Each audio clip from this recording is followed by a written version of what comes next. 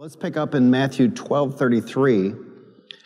We left off here. Make a tree good and its fruit will be good, or make a tree bad and its fruit will be bad. For a tree is recognized by its fruit, you brood of vipers. How can you who are evil say anything good? For out of the overflow of the heart, the mouth speaks. Probably among my contemporaries, nobody has specialized in Matthew 12, 33, 34 like Pastor Casey Treat up in, uh, I believe it's Seattle, Washington. And he's written several books about this that to change your life, you have to change your heart. You've got to change the root of the tree. And uh, the reality is on this that a lot of the outcome of our lives is based in parenting. But if we didn't have good parenting, see, somebody could say that's bad news. Well, the good news is you can learn that from fathers and mothers in the faith. You can learn it from the Word of God. You've heard me say a thousand times, I didn't know how to be a husband. And uh, I learned that from the Word of God. I learned that by reading James Dobson books. I didn't see that many great examples. So it wasn't really by observation, it was more by reading the Word of God and reading James Dobson books. I didn't know how to be a father. And, uh, but again, I, at that point in our lives, we weren't surrounded by a bunch of great examples. I learned a lot of that from the Word of God, from James Dobson books. And then also, what I tried to do was to flip around in my mind things that I perceived to be negatives and flip them around in my mind and turn them into positive goals. I don't know why I'm on this, somebody needs it. But for example, when Sue and I first got married, you could buy a you could buy a three, maybe a four bedroom custom home in Southwest Arlington, brand new, for $40,000. Well, $20,000 to my father or to Sue's father would have been nothing. But we scrimped and saved and struggled for decades for no reason. It's ridiculous. And so, something that I did was rather than get bitter, rather than be angry about something so obvious my dad, Sue's dad, could have done, I just turned that thing into a faith goal. I just turned that thing around into a faith goal. You see, you can, man, you got lemons? Okay, make lemonade. I mean, you can take even the negative things in life and turn them around and, and turn them around and make them a faith goal. And so that's really one of the things that we had in our heart was to help our children with how, a house. I mean, why spend decades uh, struggling? I mean, I was 36 years old before I owned a new car. I mean, people look at us today, you know, and they think, oh man, you know, man, they got it made. Yeah. Well, I was 35, 35 years old when I bought my new, first new car. We got people in this church, and you know they're not even 25 and they've owned a new car. But you can take stuff that's been done to you and turn that around and make that a faith goal. The point is the tree. So if you allow negativity and bitterness to remain in your heart, you're going to communicate that to your children. See, because what's in your heart is what's going to come out. When I was a little boy, when I was uh, five years old, we moved from Highland Park, Michigan to one of the suburbs. I was born in Highland Park, Michigan, which is probably the worst place in America. Ever seen Gran Torino? That's where I was born. And when I, what, but I remember the house that we lived in, and I remember that when you walked out the back door and you went down those steps, I don't remember which was which, but there was an apple tree and there was a plum tree. I was only five when we moved. So, how did I know that one of those trees was an apple tree? Talk to me. And how did I know one of them was a plum tree? Okay, you single folks, This will save your hide. So when you're dating and there's cheap fruit, you got a cheap tree. When you have angry fruit, you have an angry tree. Are you getting it? When, when, when you got, uh, I'll sleep with anybody fruit, you have an I'll sleep with anybody person. So, Jesus taught us you will know them by their fruit. Okay. So, what I've got to work on in my personal life, what maybe you need to work on in your personal life, is changing the tree. Somebody might say, well, that's not, that's not even possible. An apple tree can't change being an apple tree. Well, we're not talking about trees. This is an illustration. We're talking about people, and people can change. But the reality is, most people don't. And this, my friends, is the key to everything in God. I mean, if we're supposed to come into agreement with God, and He's perfect, and repeatedly in the Word He says, I am the Lord, I change not. If we're going to come in agreement with Him, who's got to change? We do. Okay, so He says, make a tree good. See, this whole concept of changing the tree. If you have a tree I got all kinds of trees, man. I mean, I got I got whatever they're called, regular pecan trees. I got paper shell pecan trees. I mean, I got I got all kinds of trees. I can't change one of them into something else. They are what they are. But I can change me. Now, you moms and dads, this is what you ought to be doing. You know, parenting isn't like a pain, something, you know, you just do when you, because you have to, to keep them from burning the house down. You, you guide them and train them. The Bible says you train them in the way they should go. They don't want to go that way. You train them in the way they should go. Sunday, we talked about patterns and how that the reason people fail in life is because of the patterns that you see evidenced in their lives. But where did they learn those patterns? When my father passed away, I didn't understand initially why, he had two attorneys. We went to the one, what a disaster, what a liar, what a cheat. But I figured it out. It took me about two months, but I figured it out. He had that attorney because he was politically connected into Ford Motor Company. But that's not, he was not somebody you trust. Well, when I realized what a disaster we were in, I went and made an appointment and met the other attorney. What a shrewd guy. Oh my gosh. He was like something else. And I got to know him over time. He had three children, and two of them were doctors, and one of them was an attorney. And I told Sue when I got home, I said, People at that level, that's what they do. They don't like leave their children out in the yard to evolve or to, you know, like run around like coyotes. In other words, they're very deliberate that uh, these children are going to accomplish something. Do you see where I'm headed with this? So, what is that? That's a pattern. In other words, people that are successful are successful. Right now in this culture, they want you to believe that a rich man is rich because he took advantage of the poor man. If that logic is true, some of you here tonight are fat because you took advantage of the skinny people here tonight. right? If that logic, right? If that logic holds true, right? So some of you skinny folks, Trent, somebody here ripped you off. They ate your dinner. I mean, isn't that the culture? Well, that's ridiculous. The point is, the point is that success in life is about these patterns. Okay. A lot of this is child rearing. I use the illustration, Sue was in Sunday school. I use the illustration Sunday. There's not a racial bone in my body. I believe with all of my heart you can take any child in that nursery, white, black, Hispanic, Oriental, and put them with Sue Lingerfelt 18 years. They're going to be a productive citizen. They're going to be moral. They're going to be decent. They're going to work. They're going to have a job and they're going to pay taxes. I don't care what the color is, and I don't care what country they were born in. It's training.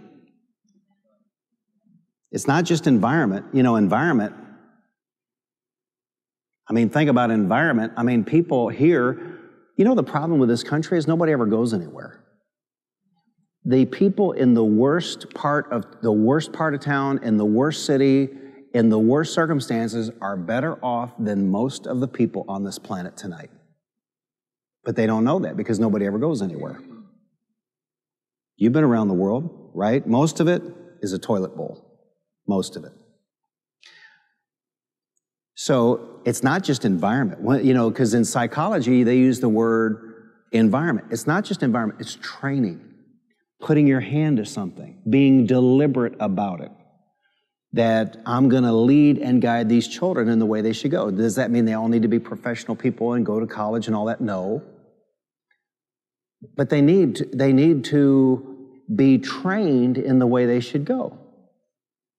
And that is sexually, morally, and then they need to, they need to know how to make a living, some way, somehow. And not everybody needs to go to college. Probably not everybody should go to college. Uh, but vocational training, we have guys in this church that are jet engine mechanics and things like that, and they make good, good, good money. In other words, probably a jet engine mechanic makes better money than the average college graduate. So my point is to prepare and to train that child to be productive. Okay. I rehearsed all of that to say this. So, what if you're here tonight and you're unproductive? What if you're here tonight and, and you just can't win? What if you're here tonight and you can't gain traction? You got to work on changing that tree. And the good news is we can. Now, you can't change the tree in your garden, but you can change the tree which is your life. You can do it. You know, in the social media today, I saw one of my things went out automatically that you can change your character even. And the way you change your character is set short term goals, apply yourself, make them come to pass. And here's what happens when you do that repeatedly, then that becomes a habit. And a habit over time becomes part of your character. And character over time leads you into your destiny. So, for example, some people are late to everything. They're late to church, they're late to work, they're late to their wedding. I did a wedding once, and when it was over and we were at the reception, the best man walked in, and boy, was he hacked because he had rented a tux and all of that and he missed the wedding. And I said two things. I said, number one, how is this my problem? And I said, number two, we didn't seem to miss you. But some people, right, they're late to everything, right? They're late to everything. They're late to everything. You know what that is? That's a bad habit. You can break that. You can change that. And what you have to do is whether it's breakfast tomorrow or going to work tomorrow or whatever is, be on time at every instance and, and over a week or two weeks, you break the old habit, you establish a new habit. Am I helping anybody? Then you, you continue that on and the habit becomes your character. Now you're not the person everybody knows, well, you know, he'll be late. She'll be late. No, you become the person who's on time. But it, it, this happens over time. Okay, the same thing is true with confession. See, you wondered where I was going. The same thing is true with confession because some people just have a negative mouth. And they don't understand. When we're, when we're talking about confession, I think sometimes people get the idea that if, if I just let one negative thing slip out of my mouth, and I have met, frankly, I have met my lifetime quota of weirdos so if I, I'm, I'm 57, if I never meet another Christian spooky weirdo for the rest of my life, my quota is filled. And I've heard people, you know, they say something negative and they say, you know, they, they, they like slap their mouth and say, in the name of Jesus, I rebuke that. And they just get all weird. it's not about one confession. The words coming out of your mouth are not like hand grenades. You know, one will kill you. What I'm talking about is patterns. See? Because let's face it, we're human beings. There's not anybody on this planet that has perfect confession. But the point is, what is the pattern of your confession? Is the pattern of your confession a pattern of prosperity? Is it a pattern of lack? Is the pattern of your confession sickness? Or is the pattern of your confession health and healing? Now, I got all kinds of notes. Let me condense where we're trying to go with this tonight. Sickness. How do you handle sickness? Now, you might be here tonight and say, well, you know, I just don't believe in sickness and I've never been sick and I'm not ever going to get sick. Well, okay, that's fine. But I live in the real world.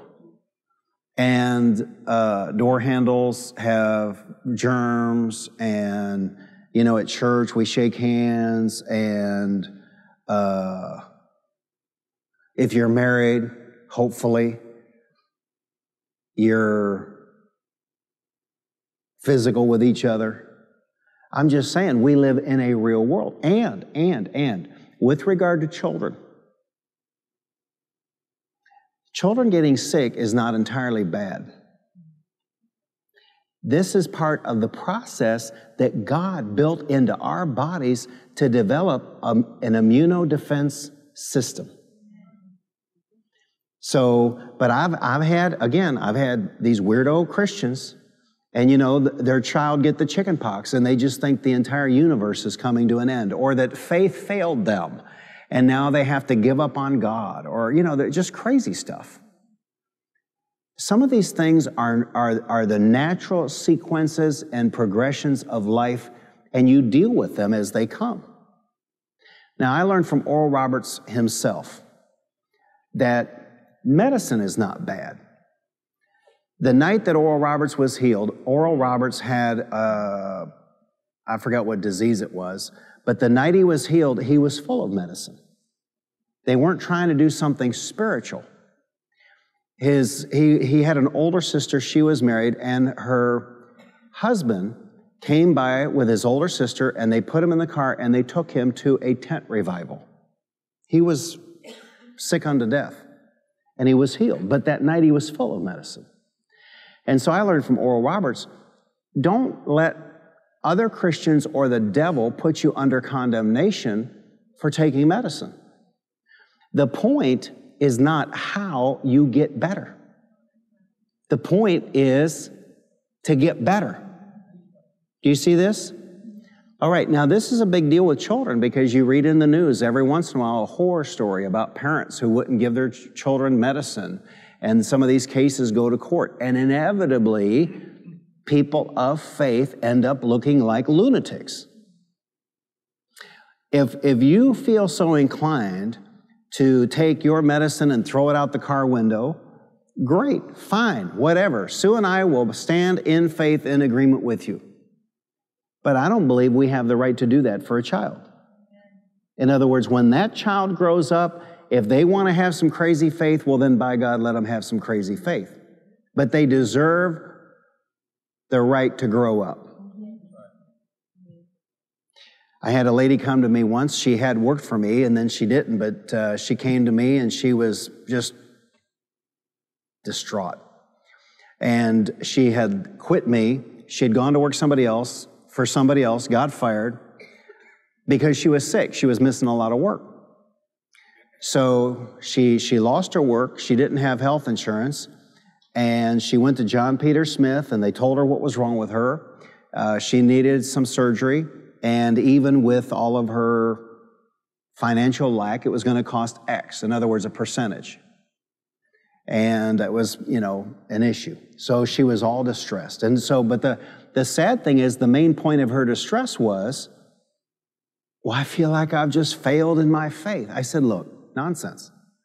I said, You have to live to fight another day. Faith is about living to fight another day. I said, job number one is to get well. I said, how are you going to, how are you going to recover financially if you can't work? How can you work if you're sick? You have this thing that has to be re- remedied. I said, you've been to the doctor. They can remedy it. It's going to cost X dollars. You have it left.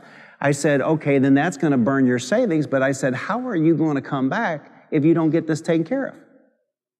And it was like, it was like visually somebody lifted a thousand pounds off her shoulders because I said, it's okay to go get this taken care of. The point, and I told her this I said, would it be better if you had great faith and you could just speak to this and make it healed in a moment? Sure. But I said, you're so beat down physically, financially, emotionally, that now you're beat down spiritually. And I said, You're weak. So I said, What you got to do is, is get whole. Then be in church, get in the Word, and, and rebuild your faith. Get strong in the Lord. Am I helping anybody tonight? Amen. Look, when you are in a weakened condition, do not make big decisions. Say it out loud. I will not make big decisions when I'm in a weakened condition. You know, first thing to do is get back, get, get your strength back, get back to where you need to be. So the point is, are we against sickness? Absolutely. Do we want to avoid sickness? Absolutely. When somebody in our house is sick, do we want to see them healed? Absolutely. Another thing to always keep in mind is the role of covenant and prevention. And when I say prevention, for decades, we have prayed over our food. Thank you, Father God. We serve the God who blesses our food and water and takes sickness and disease out of the midst of us. So, this is a daily confession. I mean, the way we eat, most of us, if you just pray the Word of God over your food, that's a lot of praying. That's okay, that was a joke. okay, but what are we saying? Thank you, Father God. We serve the God.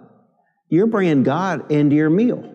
We serve the God who blesses our food and water and takes sickness and disease out of the midst of us. So that's who He is, that's what He does. So,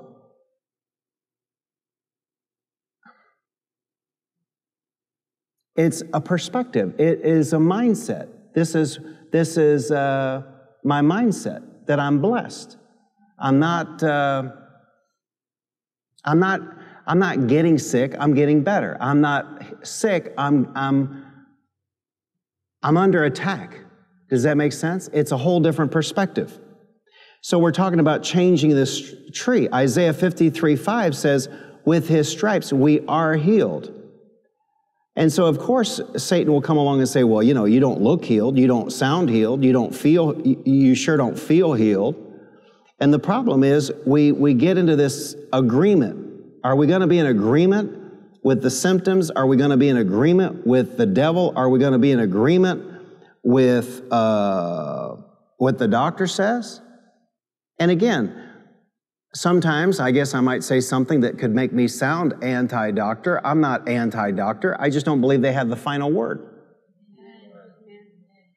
And a lot of times they may just be telling you what is, but you have to understand in this day and age, they're afraid of being sued. So they're going to tell you the worst case scenario right out of the gate.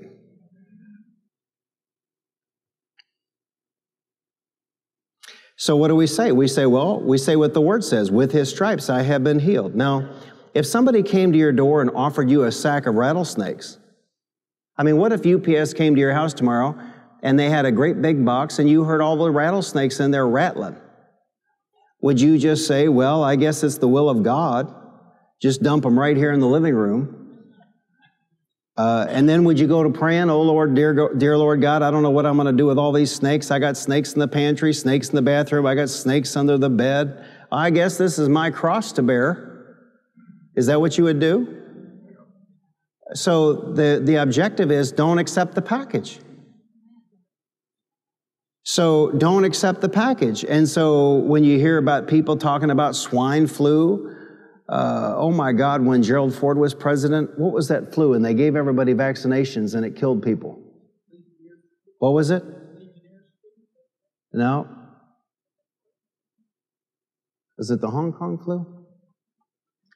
I mean, why would anybody want to get the flu from Hong Kong? You can get it right here in Texas. but the point is, the point is, you know, everybody was just going crazy about this stuff. Jesus said, Matthew 12 34, out of the overflow of the heart, the mouth speaks. Look at 2 Corinthians 4.13. 2 Corinthians 4.13. We having the same spirit of faith, according as it is written, I believed, and therefore have I spoken. We also believe and therefore speak. Say it out loud. We have the same spirit of faith. We have the same spirit, we have the same spirit of faith. We have the same spirit of faith. We have the same spirit of faith that David did. We believe, and therefore we speak. And then in Proverbs 6 2, Solomon wrote, Thou art snared with the words of thy mouth, thou art taken with the words of thy mouth. So basically, what we're talking about is a message of deliverance. But it's when I've met people that had trouble with this, people that failed at this, people that were not able to positively make confession work in their lives, here's, here's the reason why. They didn't work on changing the tree. They didn't work on changing the heart. They didn't work on changing the attitude. They just tried to put a lockbox on their mouth. You see, the apple tree is going to produce apples because it's, it's, that is its nature. The plum tree is going to produce plums because that is its nature. Now, if you don't think what I'm saying is important, this is one of the main thing that, things that breaks my heart is these young people that grow up in the inner cities of America. We have a man in our church. Uh, I think he comes at nine, sits over here, and he works at a high school in Dallas. It's unbelievable, the stories he can tell. It's unbelievable. It's unbelievable. Unbelievable. These girls come into the school you know, 11, 12 years old, and he says, Pastor Gene, some of them are just, you know, beautiful little girls. But he said, they come into that school. He said, you know, it's just a few months. He said, they're going to be pregnant. But the way they talk, all the gangster talk, I cannot imagine. My heart breaks. I cannot imagine what would it be like to be a Latino growing up in East Los Angeles. I cannot imagine. I cannot imagine. Because if you don't join the gang, you could be dead. If you join the gang, your life expectancy is probably 25 max. What would it be like? What would it be like to grow up in the inner city of Chicago or Detroit? Oh my God. See? And we're talking about generations lost. There's a man that sat on, on the front row of this church at 11 o'clock this past Sunday, and he grew up in North Fort Worth, and he can tell you stories about gangs that'll curl your hair. And he told me that out of everybody he went to high school with, he's the only male he knows of that's still alive. And that's Fort Worth. What are, what are we talking about? Patterns. We're talking, and we're talking about how that if we don't make the change now to change our lives, it's going to impact our children. And then our children aren't going to know the way to go because we didn't train them in the way to go. It's going to impact their, our grandchildren. Do you see? So this is a heartbreaking deal because God has a wonderful plan for your life. God has a one, wonderful plan for your children, for your grandchildren. But if we don't train them in the way they should go, how are they going to get there? But what about my life? What about my life? I guess I'm the only person here that woke up as an adult and, and said to myself, you know, uh, I got some real issues in my life because of the home I grew up in. I got to make some adjustments here. I got to make some changes here. I guess I'm the only one here tonight that ever had to deal with that possible reality that, uh, you know, I'm not criticizing or complaining or condemning mom or dad, but the reality is sometimes I have looked in the mirror and thought, you know, dude, you need some help. I got to make some changes. I've got to make some adjustments. Let me give you one with regard to prosperity. Let me go ahead and throw a hand grenade and offend you. We live in a culture today that is training the young people in the public schools, training people in the media to resent wealth. This is the dumbest thing that could possibly happen. I mean, I'm not going to mention any names, but I know of one guy that goes on vacation every month, and he should thank God, thank God, thank God for people making big money, paying big taxes. Because if it weren't for somebody making big money, paying big taxes, there wouldn't be a vacation once a month. Do you understand what I'm saying? So, my great fathers in the faith, the main one, the primary one, Dr. Lester Sumrall, when he would come, he came in his own jet. So when Sue and I would go pick him up at Love Field, I didn't say to Sue before we got out of the car, you know, look at that blankety blank. I mean, I wonder how come that blankety blank needs his own jet. That wasn't my perspective. My perspective was, cool, man, that is so cool. I remember when we met Dr. Frederick K.C. Price. In those days, he was driving a Rolls. Now he drives a Bentley. But I mean, when I, I didn't resent, I thought, well, isn't that what anybody who's famous in LA drives, right? Everybody drives Rolls. They're famous in LA, they drive Rolls. I mean, right? That's what happens. But I mean, I didn't resent it. I remember uh, the first time we went to Crenshaw Christian Center and I sat there and I looked at the cuffs on his suit, and I looked at the, uh, the collar on his suit, and I looked at the yoke on his suit. I could tell by looking at it, he didn't buy that in a store. He had that made. In fact, I remember sitting at the Maybe Center and hearing Fred Price say that uh, he had trouble with his feet, and so he had his shoes made for him, tailor-made shoes. I didn't, I didn't, uh, I didn't get offended at that. I thought, cool. I mean, the shoes that I'm wearing right now were made for me, made for me in Italy. They're alligator. The suit I, I'm wearing right now, right now, this suit, I chose the fabric. It was made for me in Rome. Well, how come I, how, why do I do this? Because I saw my fathers do this. But what if I'd hung out with yo bitch, yo whore, uh, you know, I'd be standing up here tonight with a baseball cap turned sideways, tattooed, right? Saying, yo, bitch, yo, whore.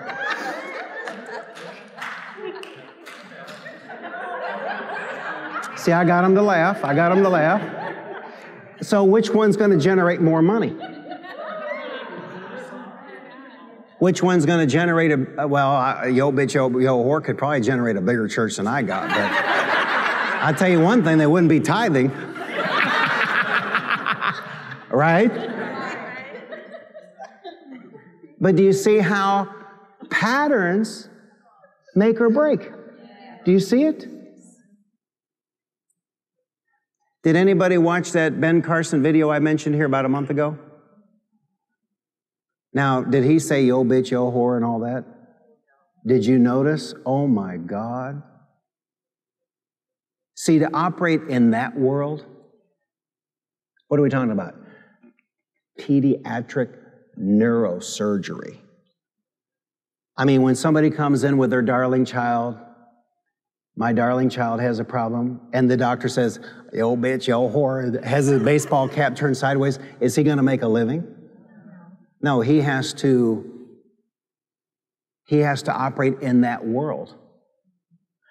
The world, this, what I have just said applies to this physical realm. But, my brothers and sisters, it also applies to the realm of God. How I speak, how I conduct myself, the attitude I begin with, all of this influences my success or failure in the realm of God. Can you see that? If that's true in the natural world, wouldn't that be true in the spiritual world? You know it's true in the military. Can you imagine going to the military and having an attitude? They would pound it out of you, right? it would be brutal. So it's yes, sir, no, sir, yes, ma'am, no, ma'am. I mean, right? So why would we think that when we come into the things of God, things like attitude and speech do not matter? So when I go to God, I just don't talk any way I may feel like it. When I go to God, I may feel like complaining, but I do not complain. I just don't. Because I read, I read Leviticus 22, 23, or no, 13 and 14, he'll kill you for it. That's how, that's what God thinks of complaining. No, I made up my mind years ago that for the rest of my life, a complaint from my mouth he would not hear. Now, I'm a world class complainer. You can check with my kids, man. I can check into a hotel. I'm a world class complainer. I can go to a restaurant. I am a world class complainer. But a, a, complaint against God, you will not hear come out of my mouth. Number one, if he is who we believe he is, how could he make a mistake in the first place? And number two, if he changes not, how will my complaining change the situation? Number three, if he is love, what do I have to complain about in the first place? So my assumption is if something is amiss, it wasn't him, it was me. He didn't fail, I failed. I didn't apply myself to the word, or I didn't apply myself to the confession. So God has given you this ability. Let's wrap up in Matthew 15. Matthew 15, 11. What goes into a man's mouth does not make him unclean, but what comes out of his mouth, that is what makes him unclean. And verse 18, but the things that come out of the mouth come from the heart, and these make a man unclean. So it's not just about the confession. It's not, ju- yes, the way we speak with regard to health and healing matters. Yes, the way we speak with regard to success and money matters. Yes, but let me tell you something. You can talk prosperity, but if you have envy in your heart, your talking prosperity won't get you anywhere. Can you walk outside on Sunday and genuinely be happy for someone in this church who just got a new car? Can you hear somebody tell a testimony about how a debt got forgiven and genuinely be happy for them? Can you hear a testimony about somebody getting a new job and a great big pay raise or somebody getting a great big bonus on the job? Can you hear that and genuinely be happy? Because if you can't, you got to work on the tree. You got to work on your heart. Because here's what will happen you'll try and have a positive confession, but your heart will betray you. And these three need to be in agreement what you believe, what you say, and what you do. So even if you're trying to have a positive confession, if you don't believe in prosperity, and listen, listen, this is a big deal for what's going on in this country right now. I cannot be a defender of my rights without being a defender of your rights. So I have to be an equal opportunity person. Do you see that? And this applies to everything. I can't be a racist. Because if, if I'm a racist, my faith's not going to work. I mean, how can I believe in success and prosperity for me, but not people who don't look like me? That right there will sabotage your faith. But then also, I've got to be an equal opportunity, opportunity person with regard to success and prosperity. I'm not just for my success and prosperity. You understand this is my problem. Most of these pastors, they walk into church, they do their thing, they go home, that's it. My problem is, I am genuinely an equal opportunity success and prosperity guy. I want to see everybody prosper. And sometimes this works against me because people feel like I'm putting pressure on them. I'm not putting pressure on you. I want to prod you. I want to cajole you. I want to encourage you. I want to uh, do what I can to encourage you to be a success at what you're doing and to prosper. Does that make sense? But that's the way I was with my kids. I didn't want them to fail. I wanted them to succeed. I wanted them to be blessed. I wanted them to prosper. Beloved, 3 John 2, Beloved, I wish above all things that thou mayest prosper and be in health even as thy soul prospereth. So that's what's in my heart. See, then, because that's what's in my heart, my heart never condemns me when I get blessed because I'm happy when you get blessed. My heart never condemns me when somebody blesses me financially because I'm happy when somebody blesses you financially. You know, even though it's been a half a dozen years since I got an increase, uh, I'm not complaining. It's just the economy. When I hear uh, these testimonies of people, you know, getting 5%, 10%, 15%, I'm happy for them. You know, you know what I'm thinking? Well, praise God, somebody's getting it. I'm happy for them. I'm happy for them. Go ahead and catch me if you can. Pass me. Just tithe while you're doing it. Am I helping anybody tonight? Say it out loud. It's not just about confession, it's about the attitude. It's not just about confession, it's about the heart. I'm not going to produce anything other than what I am. So, to change my life, to change my circumstances, to change the outcome of my life, I've got to change who I am. Now, I didn't bring the reference, but how do I do that? How do I do that? Romans 12. I have to renew my mind to the Word of God. I've got to renew, I've got to change my mind. I've got to change my thinking. I cannot change my heart until I change my mind. And you can't do that. I don't think you can do that in five minutes. I don't think you can do that reading the Bible once. It takes, it takes meditation, it takes time, and then it takes meditation, it takes time, and then you backslide. You backslide. You go back to, you know, if I stood here tonight and told you what I heard in my house growing up as a child, you would be shocked, you would be appalled. You have to get past it.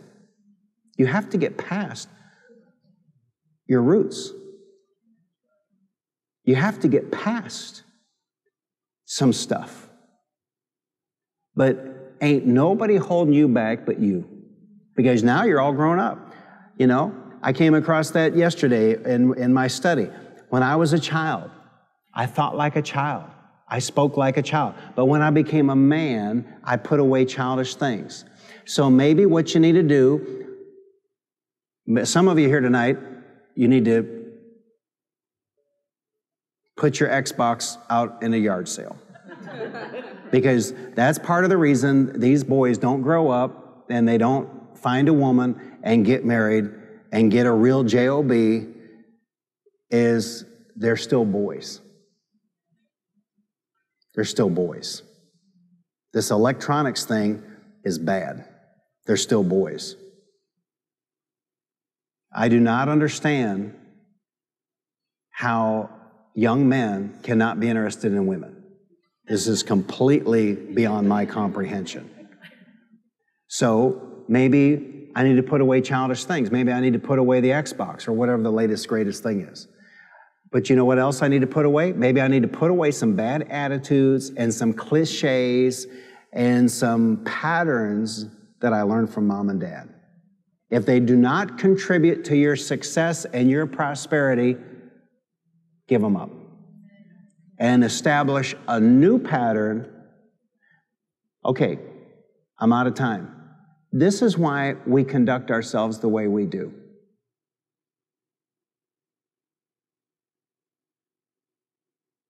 Because I am fully cognizant that I'm not just the pastor of a church. I'm a role model. I'm fully aware of this. So I just can't do what I want to do. I just can't go where I want to go. I just can't go around town giving people a piece of my mind. Right? When they cut me off on the highway, I can't give them hand signs. I mean, okay, but wait a minute, you are too. You are for your husband. You are for your wife. You are for your children. But wait a minute. You are for your unsaved friends, neighbors, relatives. Okay, being cognizant of this helps you establish those new patterns. See? Because you just can't do what you used to do. You just can't hang out where you used to hang out. You just can't say what you used to say. You just can't involve yourself in the activities you used to involve yourself in. So we have to change. And maybe you were lacking something with mom and dad. Study. Study great people. Figure it out. Study great people. And I'll tell you a secret about great men of God they're not perfect. And I'm not going to name names and give the attributes, but I could, I could list my fathers in the faith and I could stand here and I could tell you the positives and the negatives. But I'm not going to do that. Because there were seven or eight of them, and here's what I did I focused on the positives. And so there might have been some weaknesses in some other areas, especially in child rearing. Because sometimes to become great, they neglected their families. But here's my point I studied them and I studied the positives. I studied them as a group. I studied them and I imitated the positives. Does that help anybody? And that's how I established positive patterns in my life.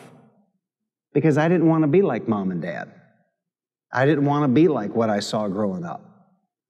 The earliest recollection of my life, I would have been maybe three, four, the earliest recollection of my life is hiding behind the sofa at that house in Highland Park, Michigan, while my mom and dad were throwing things at each other ashtrays, lamps, whatever. That's the earliest recollection of my life.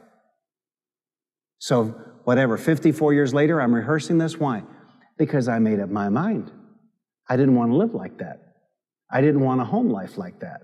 I didn't want to participate in that. I didn't want to carry on that tradition or pattern. Well, if I don't want to live like that, if I see something I don't like, I have to break it. I have to exercise my will because it won't just happen. I've got to do something. And the place to begin is renewing the mind. And then don't, don't fall in line with this culture to be bitter about successful people or to be angry about uh, rich people or to, and look, it's all bogus.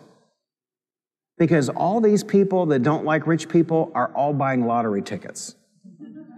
It's bogus. It's not really resentment against the rich. What it is, it's envy and jealousy because they didn't figure out how to make that money. But you're smart, you're here, you're learning about confession, you're changing your perspective, you're changing your tree, you're changing your heart. The confession will follow, health will follow, success will follow, prosperity will follow. Why? Because if you change the tree, you change the fruit. And you say amen? Amen. amen. God bless you tonight.